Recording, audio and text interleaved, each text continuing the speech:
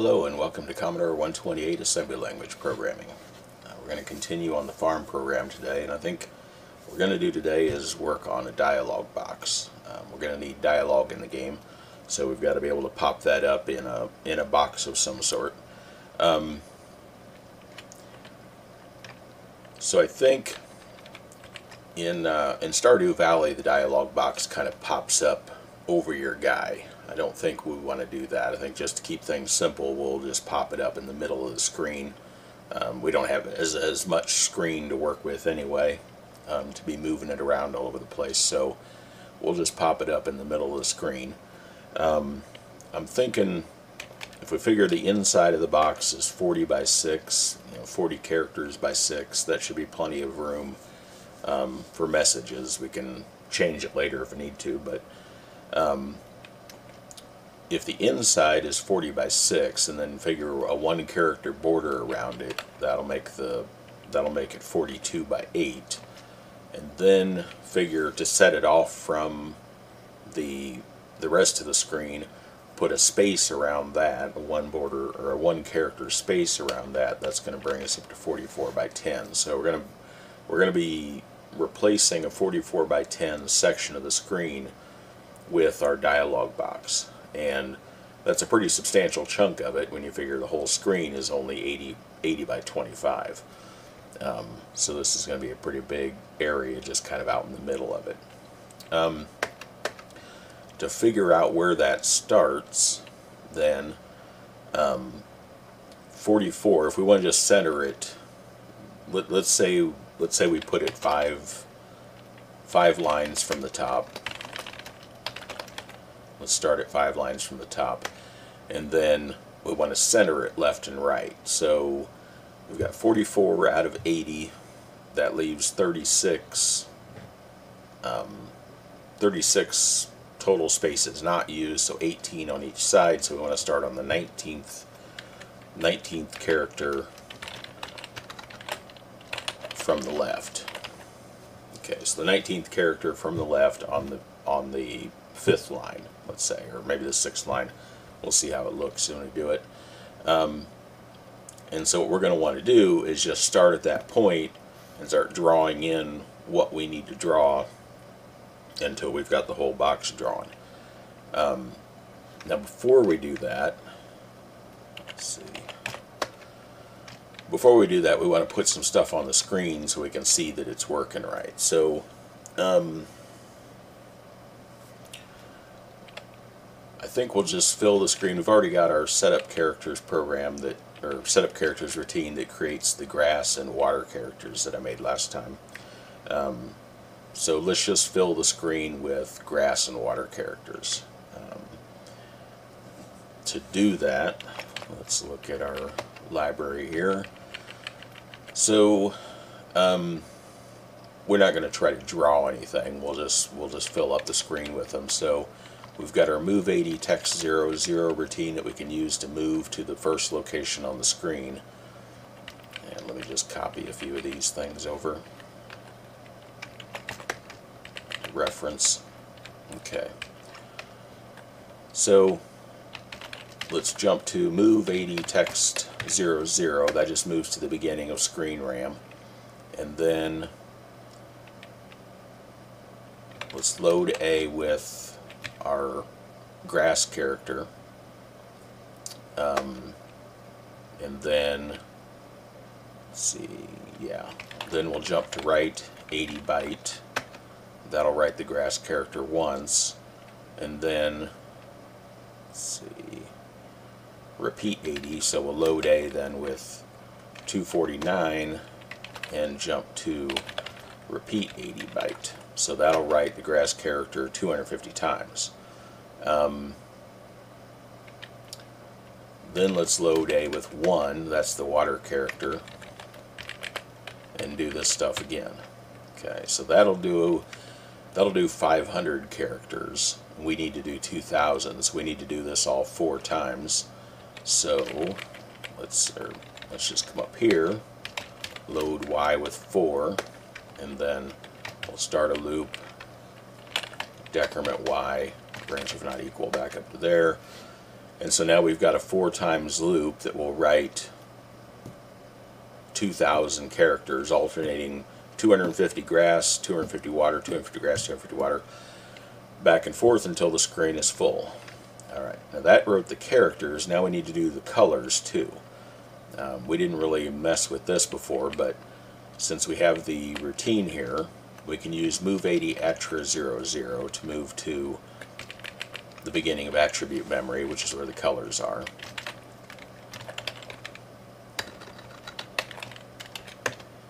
Okay, now if we want to make the grass green and the um, and the water blue, let's just go ahead and copy this. And then instead of writing 0 and 1 for the characters, we'll write the colors. So RGB, RGB, that would be a dark green. And then for the blue, that would be a dark blue. Alright, because the way these work is you have the first four bits are, I forget which ones or which, but the first one is the attribute bit that just tells it which which set of characters is coming out of. We want to leave it out of the first set, so we leave it as zero. One of these is the reverse bit, um, one of them's underline, and one of them is flash. I probably don't have these in the right order, but it doesn't matter because I'm leaving them all turned off. And then you get red, green, blue, and intensity. Intensity just means brightness, basically. So here we have blue, blue without brightness, without intensity. If you if you turned on intensity like this, then you'd get a bright blue. This will be a dull blue or dark blue. Um, okay, so that will do our colors. So all that should give us um, all that should give us a screen of grass and water. Alright, and then I want to pause there wait for key. Now, do I have wait for key? Let's see, I'm going to flip over here. I don't think I have wait for key in my in my code here. It's in the other the other stuff we're working on.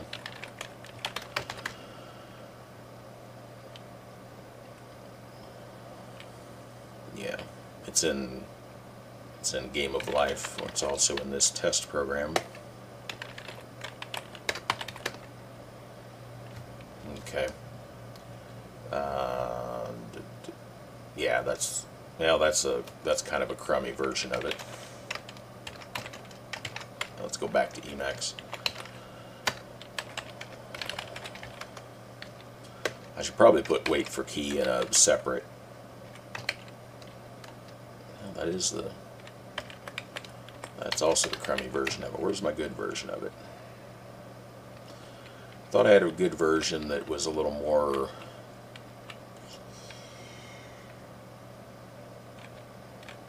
a little more understanding than this one.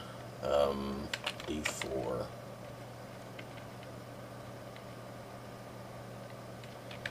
Hmm. I guess this one will work for now. It do, it works. It's just it it uh, it'll get your it'll get your key more than once because it's so fast. I know I had, I know I had, I know where it is. It's in, it's in the worm game. I know it's there. Wait for a key press, game key press. Wait for yes, no. Oh, that's why. We changed it so that it wasn't just a wait for key press, it was a wait for a key that goes on and, yeah, okay. Alright, we're done with that. So let's just copy this, we'll use it for now, add to it later if we need to.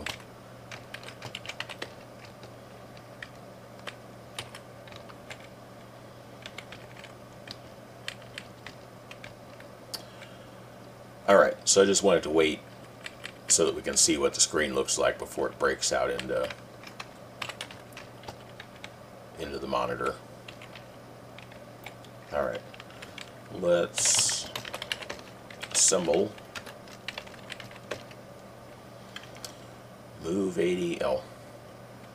Typo there. That's actually 0, 0 to say go to the that just means go to the attribute memory at 0, 0 on the screen, just to the first location.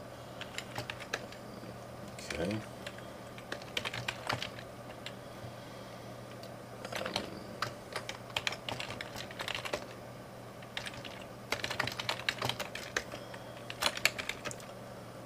Okay, there's our code.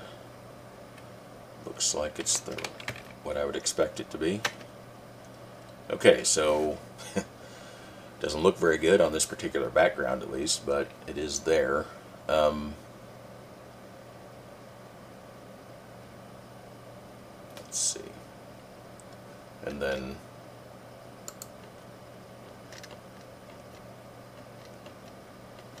it's not waiting for my, or it's not taking my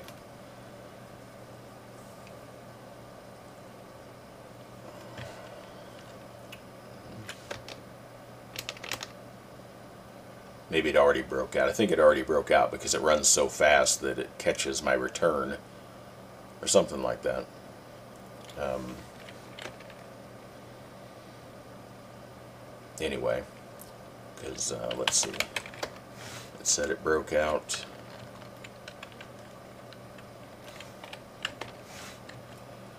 Thirteen four three.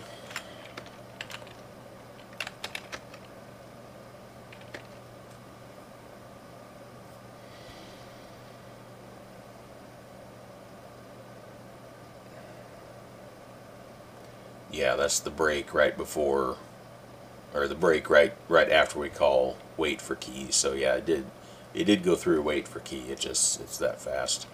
Um, okay, so I don't like the looks of my I don't like the looks of my um, colors very well, but let's see.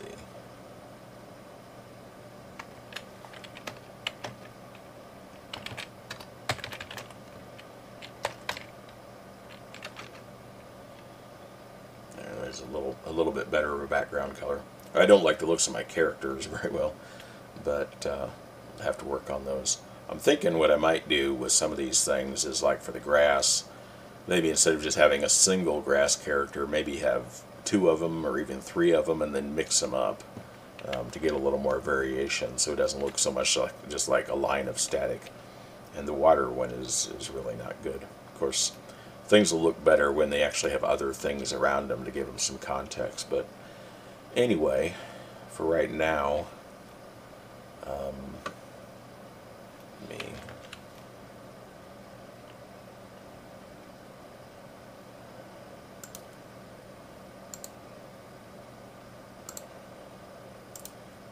Need to adjust this just a little bit.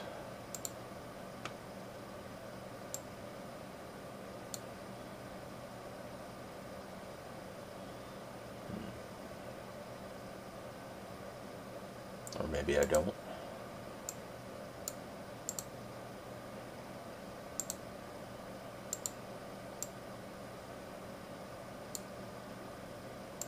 I guess it's I guess it's all on there. I couldn't tell if it was all on the video or not. I guess it is. Okay, so we do that. Um,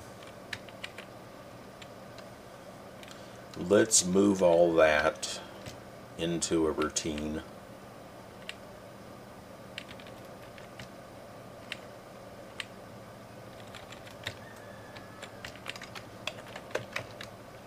and call it draw grass water. Because we're not going to want that later. We'll, we'll get rid of it later.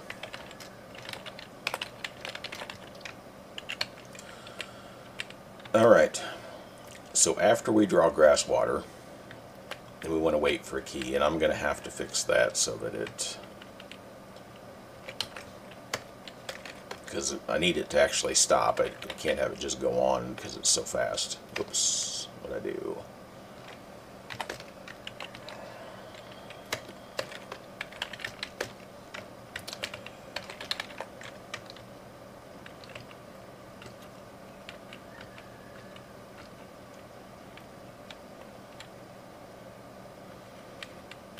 Let's copy delay one sec also.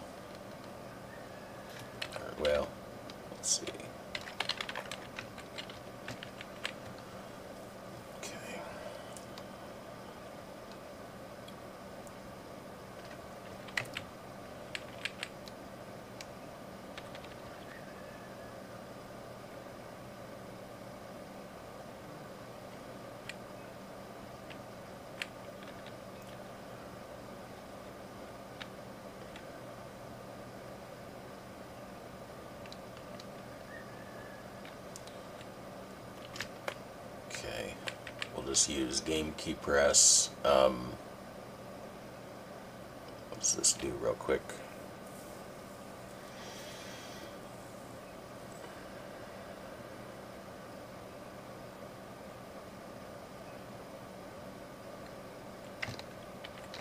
Here's what we'll do. Call it wait for space.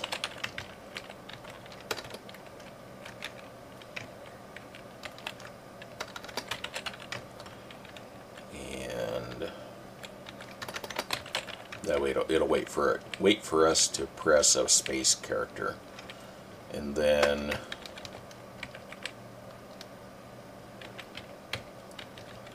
after it gets a space character then it'll wait for a blank character again or wait for no character again.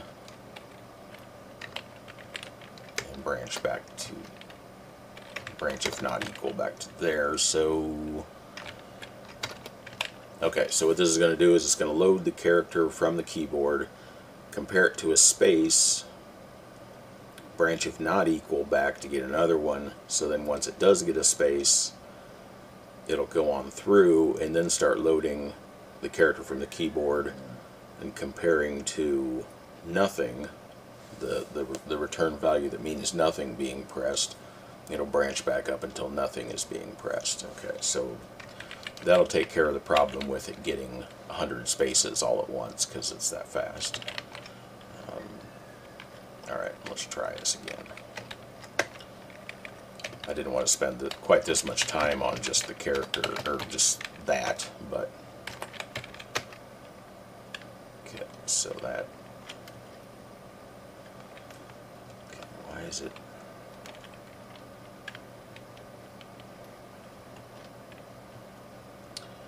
Maybe I've got the wrong char the wrong character for the space.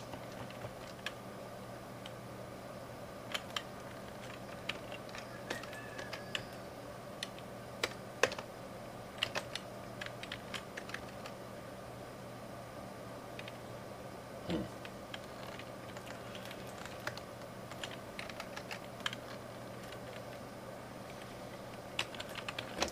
Well, I'm not going to spend a bunch of time on that because I'll come back to it when and figure it out later, but I'm not wasting your time.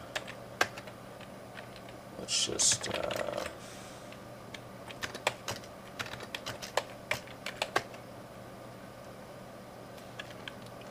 all right. We'll just leave that out for now because we're going to draw our dialog box and that's what really matters. So So we'll have an open dialog and we'll have a closed dialog. But we won't use closed dialog yet.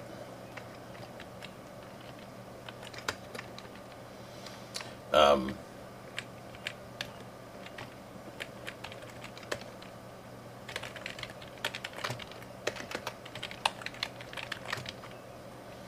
okay. So closed dialog right now will just be a return. Um, so open dialog is going to actually draw the dialog box, draw space inside it. Then closed dialog will need to put back what was there before. That'll actually be the more interesting part. But first we've got to get open dialog working to do its part. So let's see, go to notes here. I said we want to start at five lines from the top, 19th character from the left. So you think about where you are then, five lines from the top, 19 from the left, so we can use our position 80 XY routine. to get started at the right position. And so we have to put X and Y in screen memory.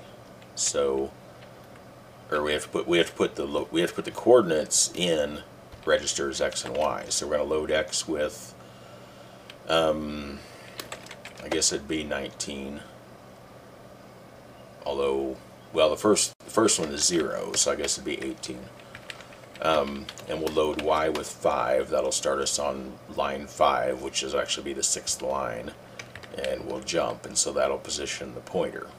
Now we want to start writing characters. So remember, we're going to write just a, an empty space around a, a one character border, space border around our dialog box. So across the top, then, we need, let's see, I said it's going to be 44, so we need 44 spaces. So we got to load A with 20, with 20 in hex, that's the space. Let's check that just to be sure. I might have that might have been why my wait for key thing wasn't working. I think I was using the the screen code for space and not the key code for space. I bet that's I bet that was the problem. I don't this one doesn't have the key codes. Anyway, I don't want to get distracted on that again. So the screen code for space, yes, is is 20 in hex. Okay, so we want to write 44 of those. And so the first thing we do is jump to write um, well, let's let's look first in our repeat the last byte. Okay, so we can use that. Or what else could we use? It's been a little while since I wrote these, so I have to stop and think about what uh, what options we have here. But I guess that's the one. Um, now we could have used print a character, but the thing is, once we get positioned, it's going to be easier to just forget about the coordinates and just work our way through um, the work our way across the screen. So I think we'll stick with position 80xy and um, repeat and so on.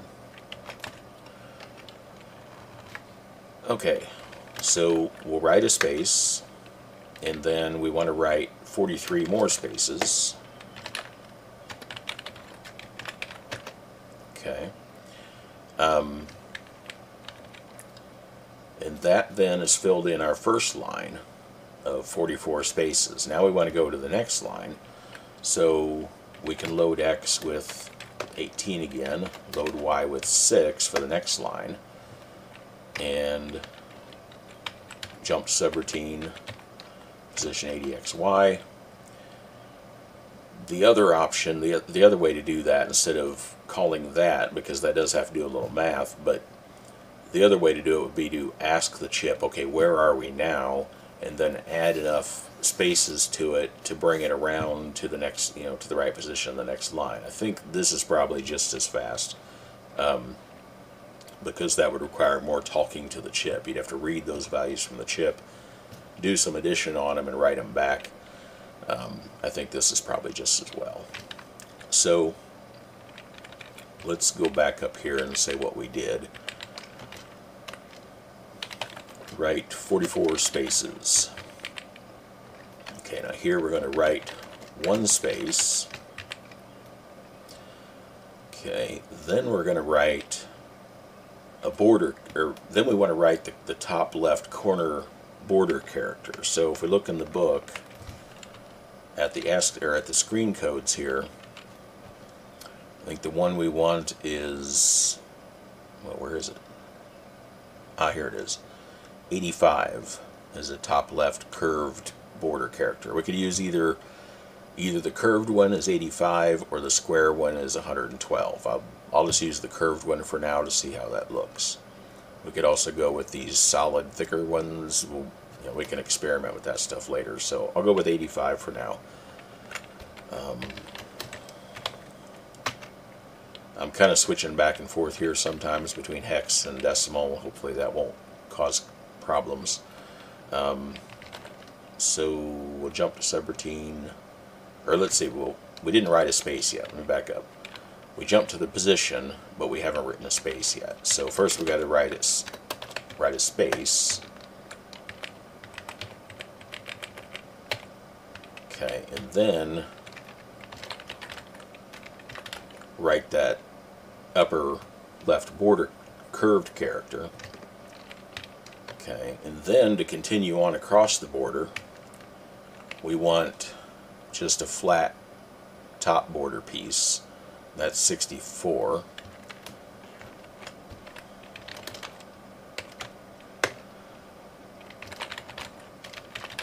And we're going to want how many of those? If we look back at our notes here, 40, there's going to be 40 of those because by the time you take out the outer empty space border and then this border, there's going to be 40 of those. So we've already written one, now we have to tell it to repeat that 39 times.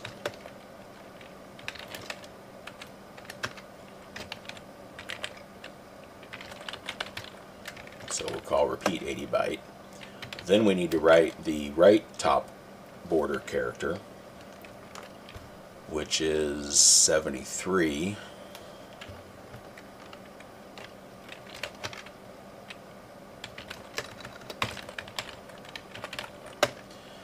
And then we need to write a space after the after the border is over. Okay. So that would be the top border.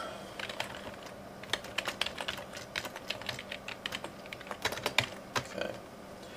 Now if that seems like a lot of stuff going on, it is kind of a lot of stuff going on. And again, that goes back to you know what we've talked about where it, it does take some doing to write to this this screen because you do have to do you're not writing directly to memory locations, you're talking to this chip and saying, okay, put a byte here for me, put a byte here for me, you know, and so on. But, but the fact that it has this repeating ability also means when we want to repeat this 39 times, we don't have to actually write a loop that does it 39 times. We just say, do it, and it does it.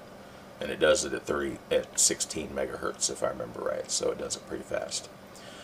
Okay, so that's our top our top border now drop down one then on the next line so we'll, we'll go to the next line. We're still we're always starting at 18 and now we're going to be on line 7 and position that. We're going to write a space like we've like we've been doing each time Now we've got to write the left side border, which is just a straight up and down center piece. That's 93.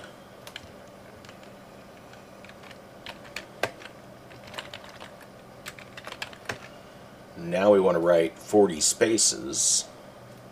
And so if we come up here, just to save some typing, grab write a space, and then repeat it 39 more times.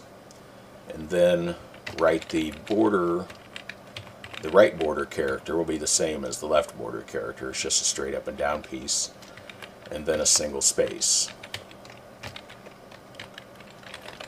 Okay.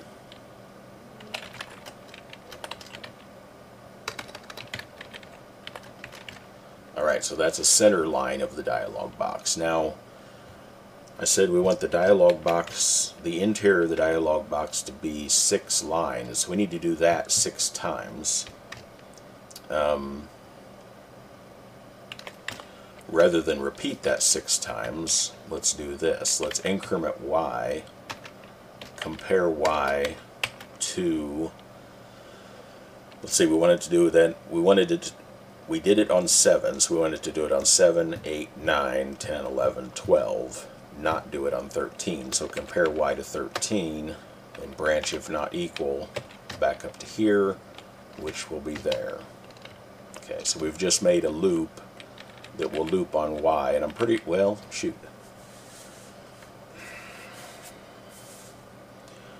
If I'm, before I do that, I need to make sure none of these other, none of these routines that we use clobber y. I don't think they do, but let's check.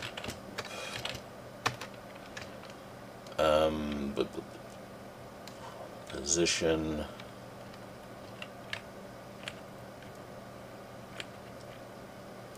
That's probably something I should have in my.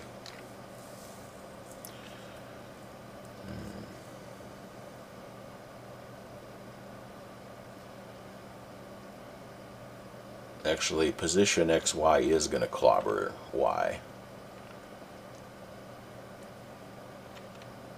Okay, but do any of the others? Repeat 80 byte doesn't use Y.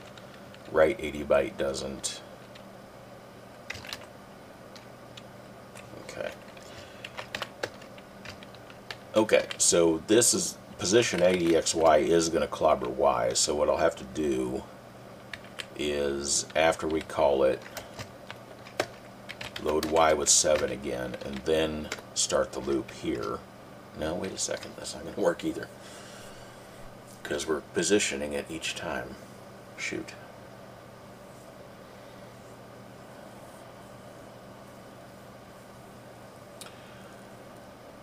Okay. Um, we're just gonna have to use a memory location. I'm not. I shouldn't spend a lot of time thinking about it. Um,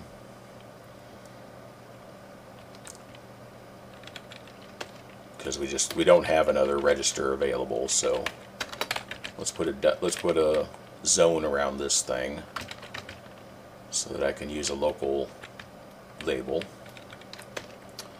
And down here then, at the end of the zone, we'll put um, D line for dialog line, byte zero, or let's, I guess just zero will be good. Okay. I guess if I put a colon after that, it shows up better as a label. Um, okay, so load y was 7. Uh, store that into D into D line. And then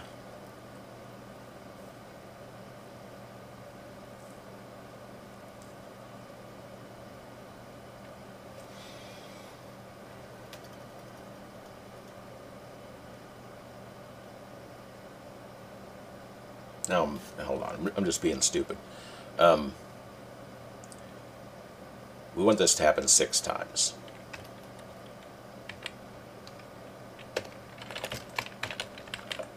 Okay, so D line is now going to be six.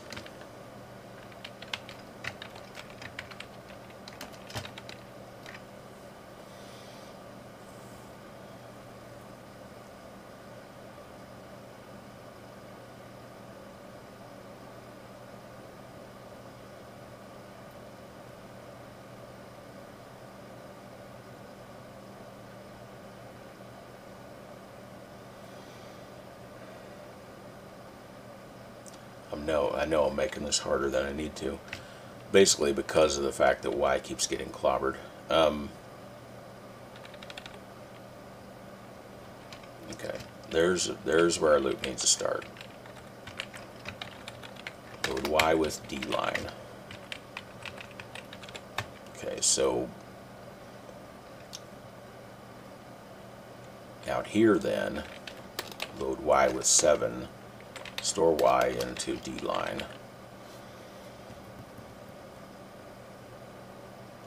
Yeah.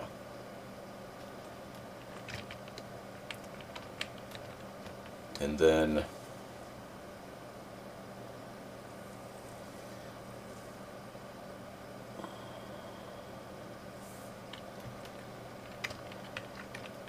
load Y from D line down here then after we've you know, after we're done clobbering it, we need to get it back, increment it, and then compare it and branch if it's not 13 yet.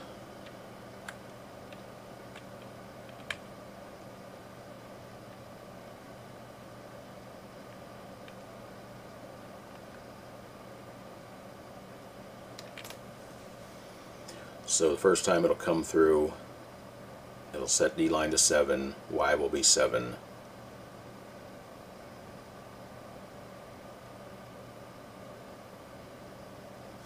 I don't need to load it here because it's already it's already going to get loaded down there so that it can be incremented and, cop and compared. So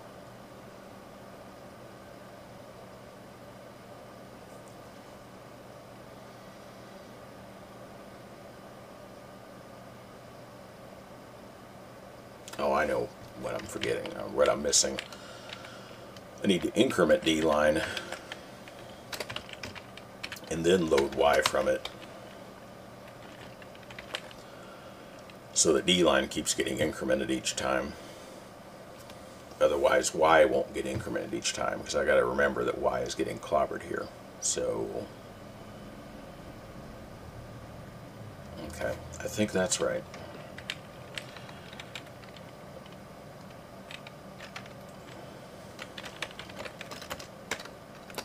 Read from line 7 to line 12. Alright. Let's move on. We'll come back to that if it's not right. So now we're down to the bottom line of the bio, of the the bottom border. So the bottom border should be a lot like the top border right here. And so let's just grab that.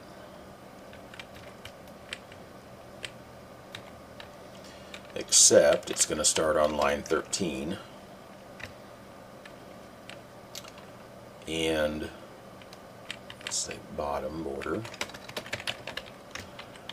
It's going to start on line 13 and then instead of the upper corners it's going to have the lower corners. So back to the book, the lower corner on the left will be 74 and the one on the right will be 75.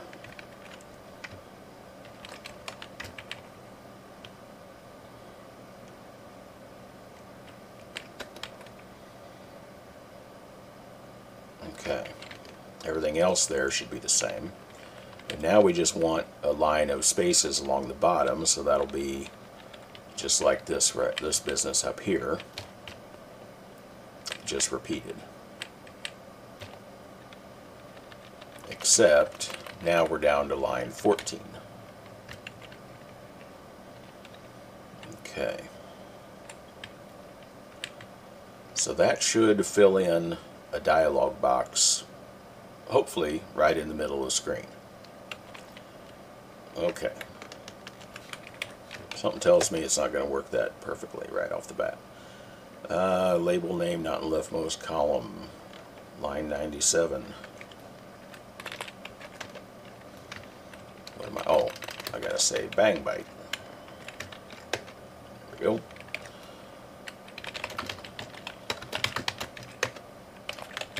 Alright, so when we run this, it should fill in the screen with grass and water and then put the dialog box in. There's not going to be any delaying.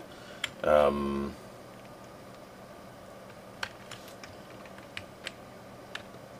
or will there? Let's see. Well, there's this break here. Let's go and get one of these programs I did have a delay.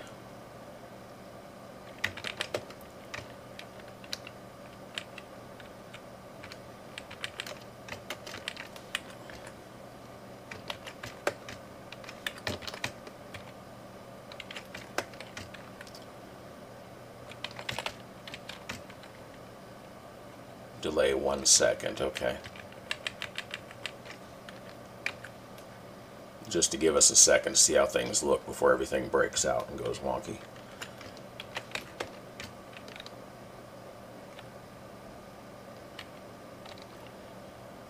Okay.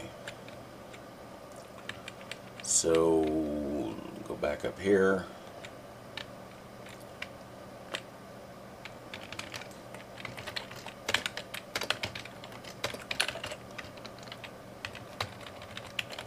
Five seconds, even better. Uh, assemble again, load again. Alright, now we're run. So it should put the grass and water on the screen, draw the dialog box in, and then wait five seconds. Okay. Um, I guess it's going to wait for good. Um, all right. I, I would say that's what we want. Um, we've got the box. Maybe I can make this a little bigger. we've got the box. As far as the as far as the characters, we'll deal with the colors in a second here. But as far as the characters go, we've drawn in the box with spaces around it and spaces inside it. Okay, so now the next thing we have to do is what about the colors? Because we want to, you know, we want our dialog boxes to be consistent. So for now, maybe we'll put it. I don't know. I guess we can just put white on black or black on white or whatever. Just something to set it apart so we can tell that the color is being done. Um, okay, so to do that, we have to move to the beginning, or to the same, basically to the same position in attribute memory. And so right here, just instead of position 80xy, we do position attra 80xy. So we'll copy this down to the bottom here. Position Atra 80xy. That was, yeah. Okay, so that's our starting point, and we're going to write, we want to write something in there to represent the foreground color. So, and I just remember, we, can't change the background color. The background color is the same for the whole screen. We're just changing the foreground color. Um, and in fact, we don't need to change it for the spaces on the top and bottom because they're they're going to be spaces anyway. They're not going to change. So we can go ahead and drop down to line 6. Um, jump to that location. Um,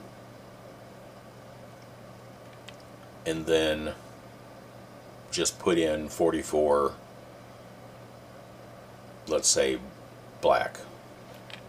So to load A with 0 is going to be black, write 80 byte, and then load with 43 to repeat, repeat 80 byte. Okay, so that'll do one line. Now we want to do that for the six lines inside plus the six lines of the border, or six lines inside plus the top border and the bottom border. We want to do that for eight total lines. So we're going to need we're going to need to do the D line thing again, where we start out with let's see. Yeah, load Y with six. Store that into D line. Okay, and then start our loop.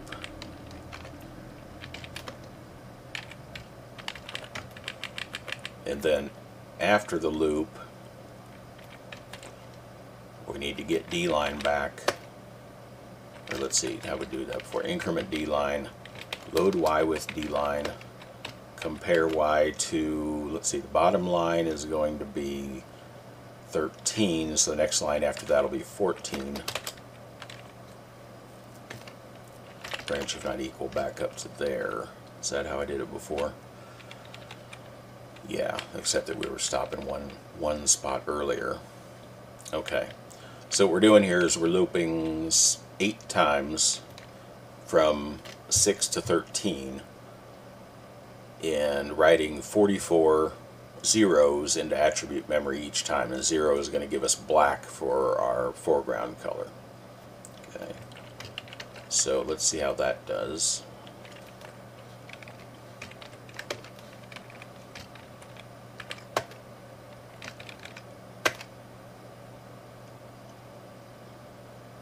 Hmm, that time it broke. Broke at 1320.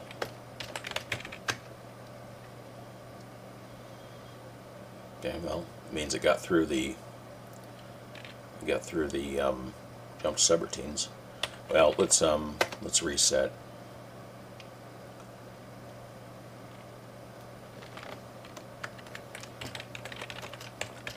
I need to put this in my program somewhere, I guess, to to switch over. But anyway, all right, let's do that again.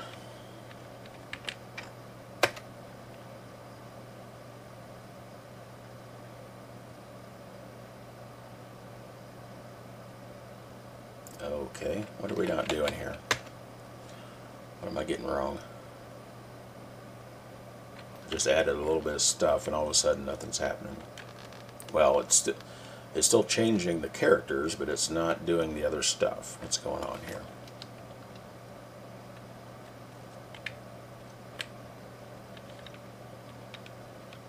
All I did was I added this part. Right?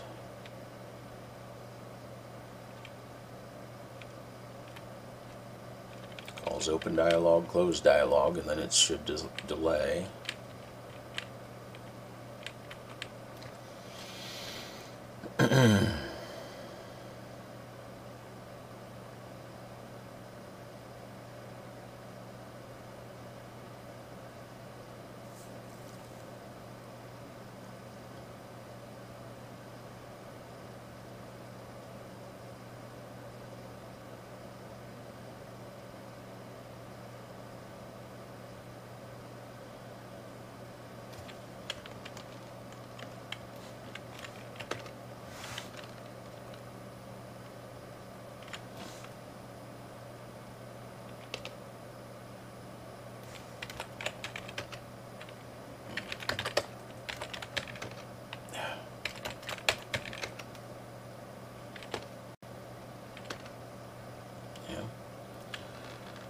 Okay.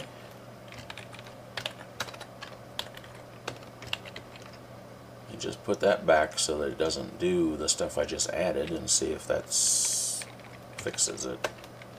I don't really see how what I just added would be the problem.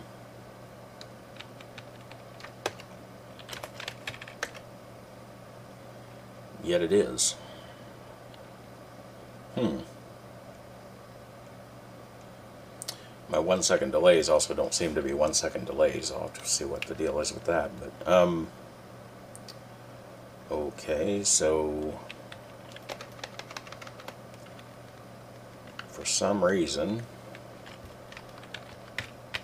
this bit of code right here is a problem. Alright. Load Y with 6, store Y into D line. That's fine. Load X with 18, position it, position ATRA 80XY with 18 and 6, then load A with 0 and write that, load A with 43 and repeat it. Oh, LSR, not JSR. And that's not a mis I mean, it's a mistake, but it's not a syntax error. Good grief. All right.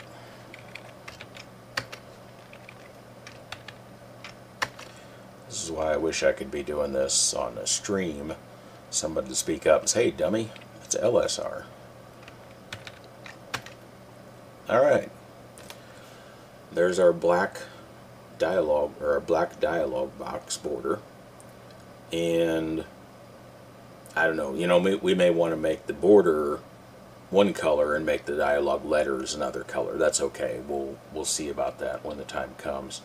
Um, but I wanted to at least get the get the dialog box placed. Um, now the next part, which I guess I won't tackle now because we're almost at an hour, but the next part, kind of the more interesting part, is going to be closed dialog because closed dialog is going to need to get back what was there before, which means open dialog is going to need to save what was there. What we're going to do is take that section of the screen and copy it to another location excuse me copy it to another location in video RAM because we do have some extra space in video RAM that we can use and I think it'll be enough. So we're gonna have to say for these 10 lines copy that chunk of the line to this other place in memory and using the 80 column chips block copy routine and also do that in attribute memory because we've got to copy the colors too so we can bring the colors back. So we've got to copy the 10 lines out of video RAM, out of, you know, out of screen RAM, and also the 10 lines out of, out of attribute RAM to another location and then close dialog can bring those back to where they belong um, when it's done. So that'll be the thing for next time. um, which I don't think will take too long, but I think it'll take close to an hour, so I don't want to make this one get that long. So that will be the plan for next time, and I hope this one was fun, and I thank you for watching.